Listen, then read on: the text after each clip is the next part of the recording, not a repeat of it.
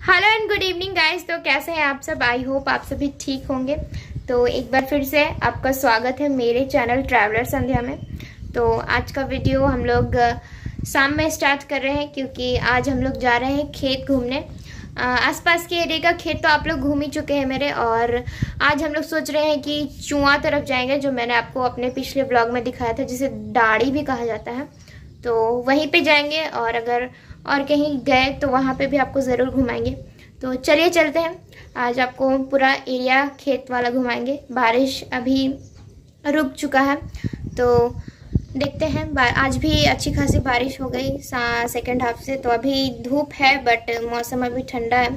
तो अभी जाएँगे तो अच्छे से घूमने पाएँगे और सब कुछ अच्छे से कैप्चर होने पाएगा। तो चलिए चलते हैं आगे। तो फ्रेंड्स स्वाति मैडम आजकल बहुत ही ज़्यादा शरारती हो गई हैं। कुछ ज़्यादा ही इनको कूद फांद करने का मन करता है। और स्टंट कर रही थी मैडम खेतों में। जिसका नतीजा है इसके हाथों में ये बड़ा सा कांटा। हाँ तो मन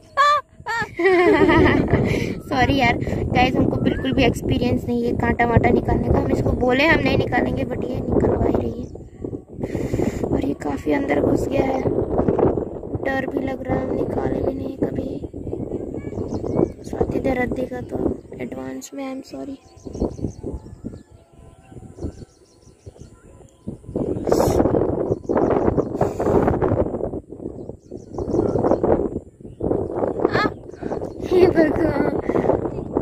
इवन ऐसे ही ना निकालते। हैं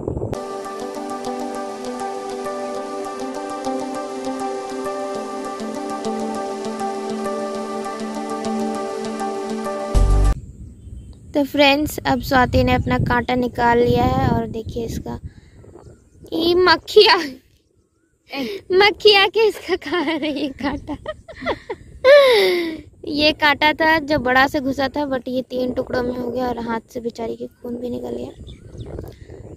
तो फ्रेंड्स हम लोग देखने जा रहे थे आज चूहा। काफ़ी दिन हो गया था इधर आए हुए।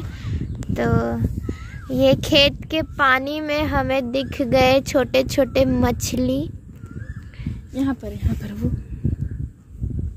किधर भाग गए? हाँ ये रहे। बहुत ही ज़्यादा छोटे हैं ये लोग। ये मछली है कि पता नहीं मेढक के बच्चे समझ नहीं आ रहा है। बट ये मछली है। स्वाति बोल रही है मछली है। तो हो सकता है ये मछली हो। और ये लोग कितनी मस्ती से खेल हो सकता है कि ये मछली है यार। नहीं मेढक लग रहा है हमको तो। नहीं मछली देखिए कितना बड़ा बड़ा टेल है देखिए। सही में। सही में। एक चमकी थी। नाक चमका था। सॉरी वहाँ पूरी जो आलपिन है वो शायद चमका था।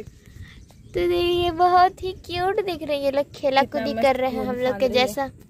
हम लोग के खेतों में कूद फांद रहे हैं और ये लोग पानी में कूद फांद आई थिंक छुआ छुई खेल रही क्या हो सकता है। एक, एक पीछे एक देखिए नोटिस कीजिएगा हाँ एक पीछे रहेगी और सब आगे रहता है। पकड़म पकड़ा है ना। हाँ। और सब इस गड्ढे में आके ढप्पा मार रहा है। सो फनी हाँ सो क्यूट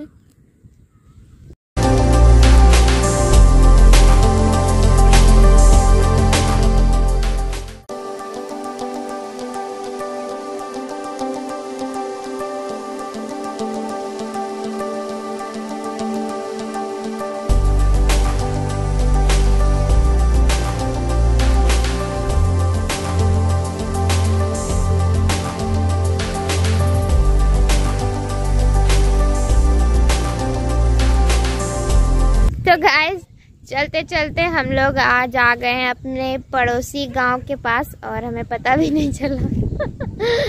तो हम लोग का गाँव हमारे ठीक पीछे है, वो है हमारा गाँव। और हम लोग चल के आ गए हैं हमारे पड़ोसी गाँव, जिसका नाम है टुक्कू टोला। तो चलिए यहाँ पे भी घूमते हैं, थोड़ा सा देखा जाए आसपास का एरिया इधर कैसा है। और फ्रेंड्स यहाँ से हमारा गाँव बहुत ही ज़्यादा खूबसूरत दिख रहा है। बीच में ये सीढ़ी वाला खेत पड़ जाता है, जिससे यहाँ की शोभा और भी ज़्यादा बढ़ जाती है। और ये चारों तरफ़ से ग्रीनरी ग्रीनरी और उधर चारों तरफ़ मकान ही मकान है। और इधर ठीक सामने हम लोग रिंग रोड के करीब आ गए हैं। और यहाँ पे बहुत सारी गायें अभी चर रही हैं। और बहुत ही खूबसूरत सा माहौल है, मस्त दिख रहा है एकदम यहाँ का व्यू। कैमरे में तो कुछ भी अच्छे से कैप्चर नहीं होने पाता है, बट रियल आँखों से आप जो देखेंगे वो आप जब फील करेंगे तभी समझ में आता है। तो गैस ये है। हमारे गाँव में तो ऐसा नहीं देखे थे हम बट ये हमारे पड़ोसी गाँव में देखिए, ये गोईठा गोबर का जो गाय का होता है गोबर, उससे गोईठा बनाते हैं लोग गाँव के और उसे आग जलाने के लिए यूज़ करते हैं, खाना पकाने के लिए चूल्हा में। तो यहाँ पे अभी ज़्यादा गोईठा नहीं है बट अभी कुछ है। बारिश पड़ने वाली थी तो शायद इसलिए उन लोगों ने उठा लिया होगा। और हाँ बचे हुए हैं तो ये फूल गए हैं बारिश की वजह से। दो दिन से जो बारिश हो रही थी उसके वजह से। और इधर का तो पूरा टूट गया है। वाह ये तालाब है। है ना? तो गाइस ये देखिए, हमारे पड़ोसी गाँव का छोटा सा तालाब और ये काफ़ी गहरा है। दूर से तो पता ही नहीं चलता है कि ये एक तालाब है और ये बहुत ही ज़्यादा खूबसूरत लग रहा है।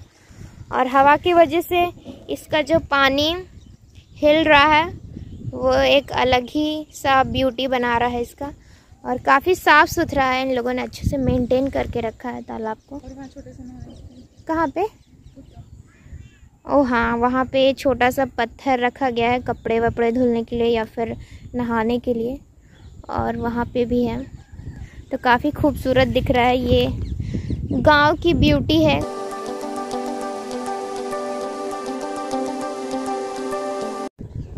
स्वाति शायद यहाँ पे कुछ लगाया है ना? चलो चल के देखते हैं।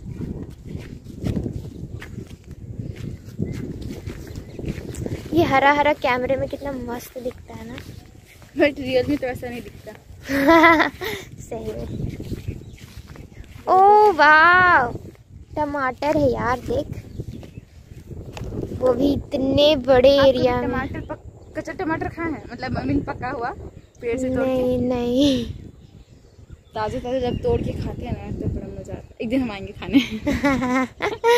गाइस देखिए, यह एक टमाटर का खेत है और इसमें जितना भी वाइट वाइट दिख रहा है आपको, ये सारे टमाटर हैं। कैमरे में बिल्कुल भी नहीं कैप्चर हो रहा है। बट बहुत ही ज़्यादा रियल में खूबसूरत दिख रहा है। छोटे छोटे हैं अभी। अभी लाल मतलब पके भी नहीं ये लोग। और ये शायद भैया कुत्ते को लेकर बैठे हैं रखवाली करने के लिए। ताकि इनके टमाटर कोई चुरा ना सके। पका कहाँ जो कोई चुराएगा? और देखिए वहाँ पे सामने में यहाँ कोई बकरी वकरी या फिर कोई घुस ना जाए ऐसे जानवर। हाँ उस वजह से रखा हुआ। और वहाँ पे ट्रैक्टर है।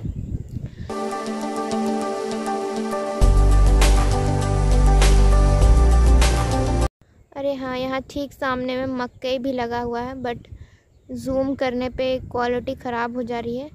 लेकिन वो मकई है अभी आधा बड़ा हुआ है वो लोग अभी छोटा छोटा है।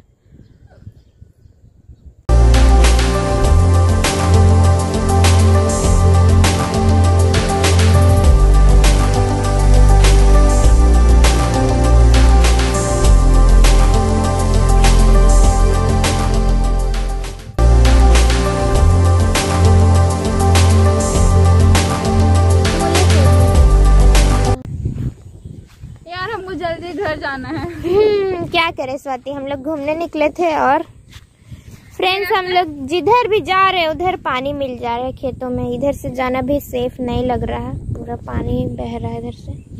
चलो फिसला था यहाँ? हो सकता है। देखिए ये सांप का बिल है। बहुत ही बड़ा। छी बहुत खराब है ये स्वाति। तो अब हम लोग खोजेंगे नया रास्ता। देखिए नया रास्ता मिल गया इधर भी पानी बह रहा है। हो रहा है आज हम लोग का लेट आज लग रहा है कि खाने पीने के लिए अच्छे से मिलेगा घर। में पार हो सकते हैं। नहीं नहीं वहीं से पार होते हैं।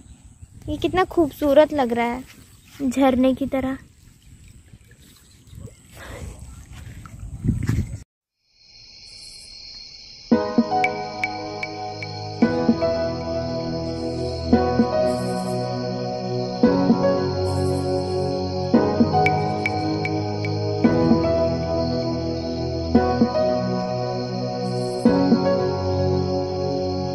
Bye.